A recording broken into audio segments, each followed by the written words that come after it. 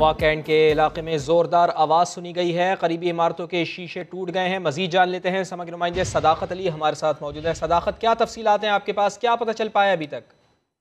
जी, फवाद, ये वाकंड का इलाका है जहाँ पर जोरदार आवाज़ सुनी गई है, जिसके वजह से आवाज़ की शिदत इतनी ज़्यादा थी कि करबो जवार की जो इमारतें थी, उनकी शीशे टूट गए और धुएँ के बादल जो है वो उस वक्त निकल रहे था हम तहकीकती टीमें जो है वो उस बात की जो है वो तहकीकत कर रही हैं कि जोरदार आवाज़ किस नोयत की थी और उसमें क्या वाक़ पेश आया? था हम अभी इब्तदाई इतलात यही है कि जोरदार आवाज़ सुनी गई है जिसके नतीजे में करबो जवार की जो इमारतें थी उनके शीशे टूट गए तो हम किसी जानी माली नुकसान की इतला अभी तक मसूल नहीं अच्छा इस इलाके के बारे में बताइए इसका मेले वकू भी बताइए।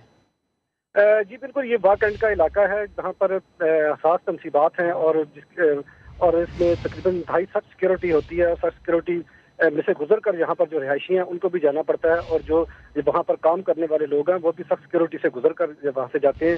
ये कैंट का इलाका है जहाँ पर ये जोरदार आवाज़ सुनी गई है। तो हम जोरदार आवाज़ की नोयत जो है वो जांची जा रही है कि ये किस नोयत की आवाज़ थी। जी। बहुत शुक्रिया आपका सदाकत। आपसे अपडेट लेते रहेंगे। और अभी आप देख सकेंगे प्रोग्राम सात से आठ।